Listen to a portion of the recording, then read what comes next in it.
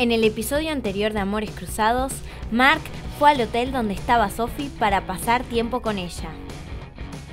Al llegar, Eric lo atacó y Jennifer tuvo su cita con Ryan.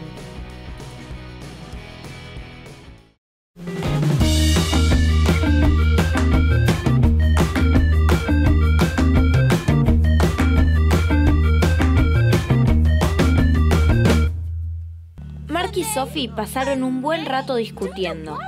Sophie acusaba a su novio de serle infiel y no le creía para nada cuando él decía que no tenía nada que ver y que no sabía de qué estaba hablando.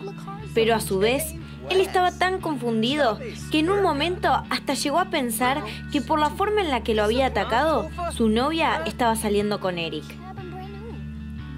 Los minutos se convirtieron en horas y ambos estaban cansados de pelear.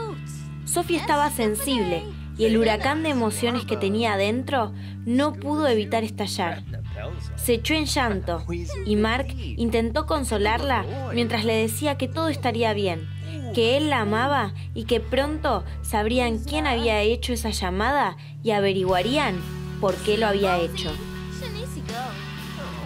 La noche se había convertido en madrugada cuando Mark salió del cuarto. Si bien la tempestad había pasado, las cosas no estaban en su mejor momento y era preferible dejar a Sophie sola y que pueda pensar en paz.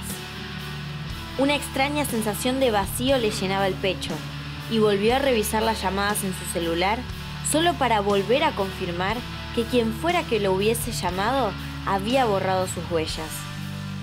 Le había explicado a Sophie que ese día había perdido el celular en el gimnasio, pero si bien ella dijo que le creía, su forma de actuar dejaba ver que mentía. En Oasis Springs, Jennifer y Ryan no podían dejar de hablar. Ya se habían contado todo acerca de sus vidas, sus gustos y sus sueños. Realmente estaban pasando una buena noche. Cuando el bar cerró, Ryan acompañó a Jennifer a su casa y ella lo invitó a entrar para seguir charlando un rato más.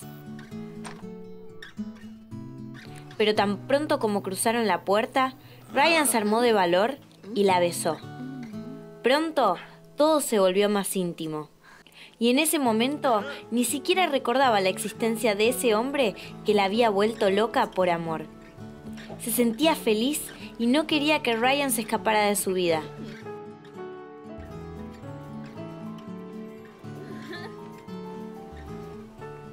La mañana siguiente Ryan despertó y encontró que Jennifer había servido un desayuno que al comerlo le resultó exquisito.